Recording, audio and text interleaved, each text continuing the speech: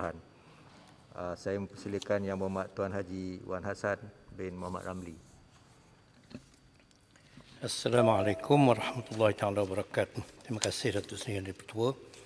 Dungun minta Menteri Pelancongan, Seni dan Budaya menyatakan strategi jangka pendek kementerian bagi memastikan aktiviti pelancongan domestik dapat dioptimumkan semula sepenuhnya dalam fasa ini susulan kebenaran rentas negeri dan daerah oleh MKN.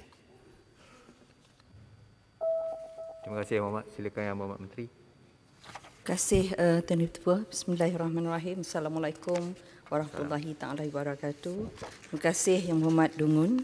Tuan Diri Pertua, selaras dengan keputusan kerajaan memperkenalkan gelembung perjalanan domestik zon hijau serta kebenaran rentas daerah dan negeri baru-baru ini, Kementerian Pelancongan Seni dan Budaya iaitu MOTEK giat merangka dan melaksanakan pelbagai inisiatif jangka pendek untuk kembali merancakkan pelancongan dalam negara. Yang pertama, yang paling utama, kita mahu bina keyakinan di kalangan rakyat iaitu rakyat kita bahawa adalah selamat untuk melancong di dalam Malaysia.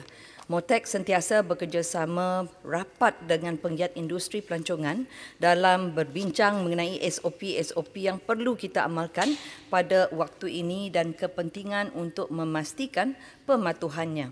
Sebab itulah kita yakin bahawa penggiat industri pelancongan kita telah pun bersedia dalam aspek ini dari awal dan terus dibenarkan. Terus bergerak um, sepenuhnya sebaik sahaja aktiviti pelancongan dibenarkan. Apabila rakyat melihat semua langkah berjaga-jaga dilaksanakan, mereka akan berasa selamat untuk melancong. Yang kedua, Tuan Diri Petua, kita beri galakan untuk rakyat kita melancong. Untuk uh, untuk ini kita tawarkan kepada rakyat insentif dan promosi dalam bentuk voucher rebat, e-voucher, cashback dalam bentuk e-wallet dan uh, diskaun untuk tempahan pakej pelancongan, penginapan dan pengangkutan. Dalam erti kata lainnya, kerajaan memberikan bantuan keuangan atau membayar sebahagian atau dengan izin certain portion dalam perbelanjaan untuk rakyat kita melancung dalam negara. Ini sekaligus akan membantu industri perhotelan dan lain-lain yang berada dalam rantaian industri pelancongan seperti pengangkutan dan F&B.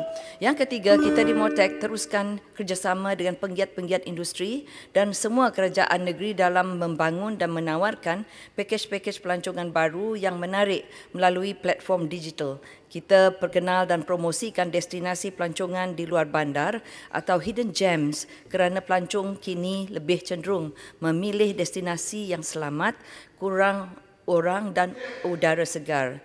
Selain itu, Tuan Didi Petua Motek akan teruskan siri jelajah semarakan pelancongan domestik. Kita akan pergi ke seluruh negara lagi sekali untuk mempromosikan pelancongan domestik, memperkenalkan produk baru pelancongan dan juga memberi nafas baru kepada produk sedia ada.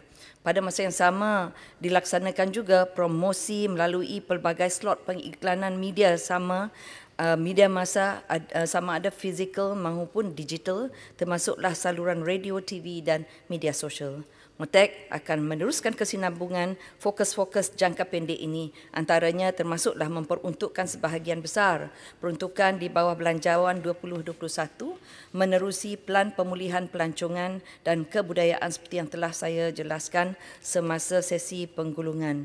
Di samping itu, penekanan kepada agenda pembangunan sosial dan ekonomi rakyat diberikan menerusi pemerkasaan industri kraf negara dengan tema kraf memperkasa sosioekonomi rakyat bermula tahun 2021. Semua inisiatif ini diyakini dapat merangsang dan menyuntik perbelanjaan domestik secara konsisten dan seterusnya mewujudkan kesan gandaan ekonomi khususnya yang berantaian dengan sektor pelancongan seni dan budaya. Tuan Dipertua, kalau kita semua mahu ekonomi ini dapat berterusan secara mampan, kita perlu menjadi pelancong yang bertanggungjawab. Sama-sama kita menjaga kita di sendiri. Terima kasih Tuan Dipertua. Terima kasih Yang Berhormat. Saya persilakan Yang Berhormat